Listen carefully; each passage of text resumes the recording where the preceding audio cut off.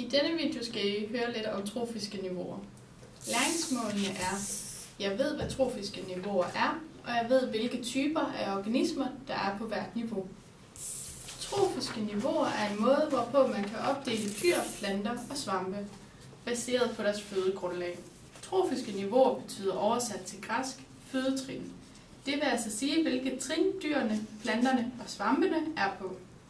Det nederste trin, niveau 1, består af alle de organismer, der kræver sollys for at leve.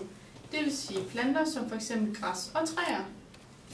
Næste trin, niveau 2, består af alle de organismer, som lever af organismerne på niveau 1. Det vil sige planteæderne.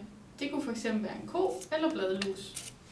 Tredje niveau består af de organismer, der spiser planteæderne, altså rovdyrene. Det kunne fx være en blåmejse eller en mariehøne. Herefter øh, kan der findes højere niveauer, det vil altså sige rovdyr, der spiser rovdyr. På fjerde niveau kunne det være en rev, og på femte niveau kunne det være en hø.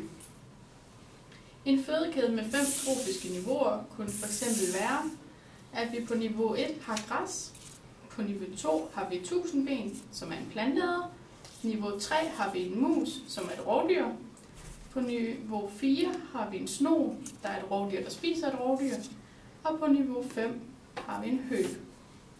En lille fun fact er, at nogle dyr findes på flere niveauer. For eksempel et æren. Når ærenet spiser bær og nødder, er den på niveau 2. Hvis den spiser æg og fugleunger, så findes den på tredje niveau. Det der er årstidsbestemt, da ærenet spiser, hvad der er mest tilgængeligt.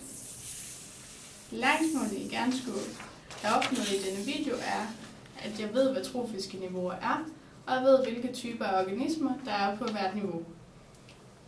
Nu skal vi ud i skoven, hvor I skal finde organismer med så mange, på så mange niveauer, I kan, og hvilke niveauer det var nemmest at finde noget til, og svare på hvorfor.